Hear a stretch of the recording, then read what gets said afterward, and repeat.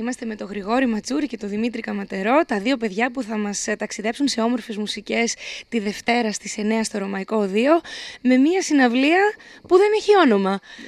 Πώς ε, προέκυψε αυτός ο τίτλος για τη συναυλία σας; Ε, πώς προέκυψε; Δεν το σκέφτηκα και πάρα πολύ. Ήταν το πρώτο που μου κατέβηκε στο κεφάλι και μπήκε έτσι πολύ. Είναι πολύ πιασάρικος όμως, τραβάει. είναι. Λες, «Ε, να δούμε τώρα χωρίς όνομα, τι- τι ανατρεπτικό θα δούμε. Θα δούμε, ναι. Ε, και μια που το συζητάμε, πες μας λίγο τι μουσικές θα ακούσουμε, τι τραγούδια, τι ύφος.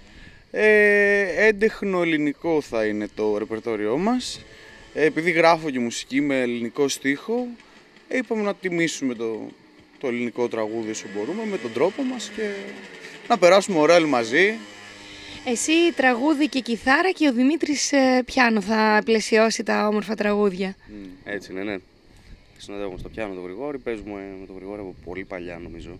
Πάρα είναι μια παράδοση πλέον. Πα- κάθε καλοκαίρι.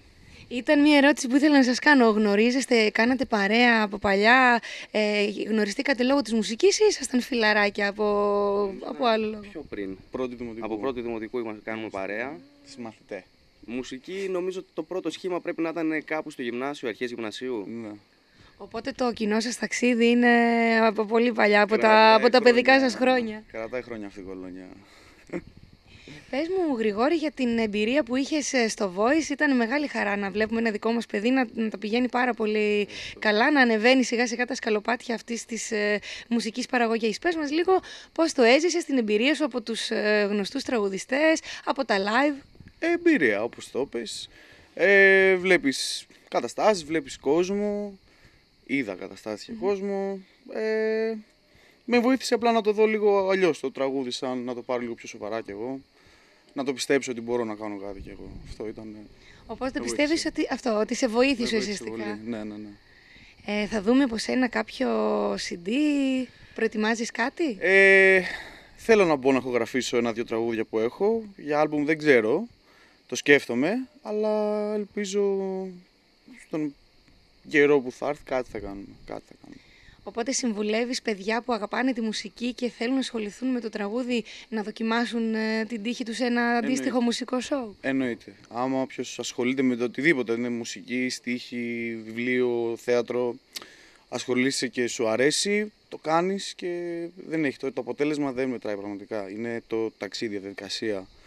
Το να μπεις σε όλο αυτό είναι, μετράει, αξίζει να το κάνεις.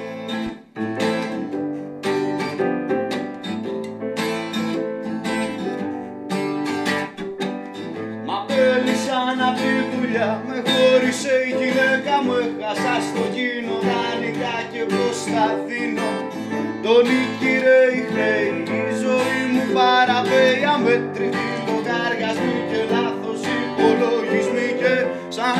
φτάναν όλα αυτά. Στην Αττική τα απόγευμα Για πυροσβεστήρα πήρα κλείσει 80 ευρώ Και μες στη γατεμιά μου Μες στο πανικό πηγαίνω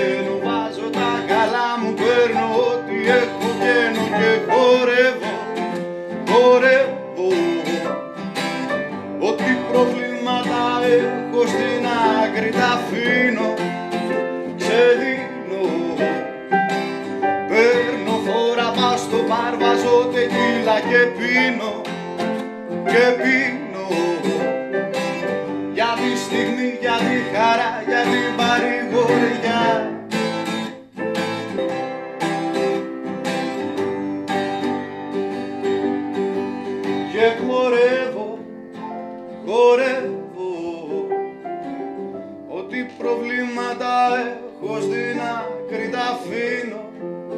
Ξεδίνω